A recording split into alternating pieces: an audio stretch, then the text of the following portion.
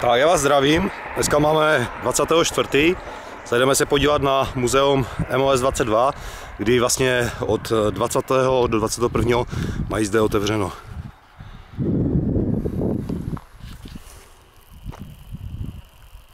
Tak, tady máme uvitací ceduly, části překažkového systému. Se kousek projdeme. Tak, cesta na Břesinu.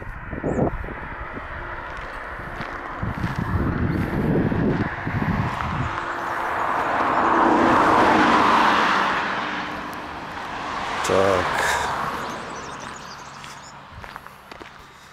Tady máme muzeum. Tak, tady krásně se zajdeme do stínu. Podíváme se na 22.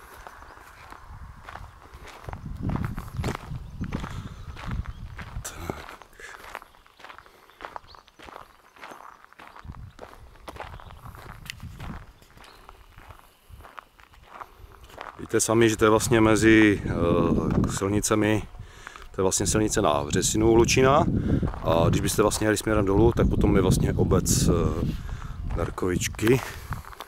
Se na to podíváme, zazumujeme. Tak tady dole jsou Darkovičky a kdybyste šli potom dál, tak vlastně potom směr Hlučina. Tak podíváme se tady na muzeum. Doufám, že tady to nezakopnu. Tak. Tady máme schovaný kryt, poválečný. Tak. Podíváme se směrem dál. Tak. Tady máme vystavený stan.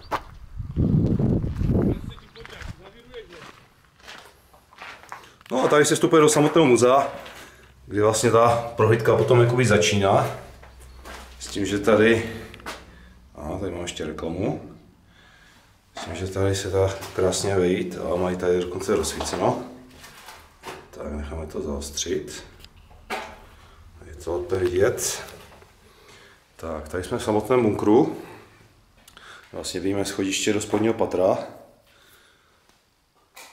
Směrem vlastně dál. Na opačnou stranu. Tady taky. No a více natáčet nemá smysl, protože kdo je hodně zvědavý, tak aspoň se tady přijde k nám podívat do muzea. Oni fakt kluci začali to celá slušně makat. S tím, že tady vlastně, když vidíte, tak tady vlastně mají stupné dobrovolné. Je krásně vidět, kasa. S tím, že teda vlastně z toho, co se, co se vybere, tak potom vlastně automaticky odchází vlastně na rekonstrukci. Jo, bohužel smutné je, že to je jediný zdroj příjmu, protože nějakým způsobem se k nám nikdo nehlasí, ani město Lučin, ani obec Darkovice nás finančně moc teda nepodporují. Takže vlastně nějakým způsobem bohužel i ta kasa je tady pro kluky na 22 a i na 21 vlastně jediná šance, kdy se takhle dá vlastně něco vydělat, protože práce jsou celkově tak jakože hodně pomale, ale když je nadšení, tak je co dělat a doufám, že jednou dřív později to někdo pochopí a a bude to tady trošičku podstatně lepší. Takže tím bych se vlastně rozloučil a doufám, že se tady přijdete k nám podívat.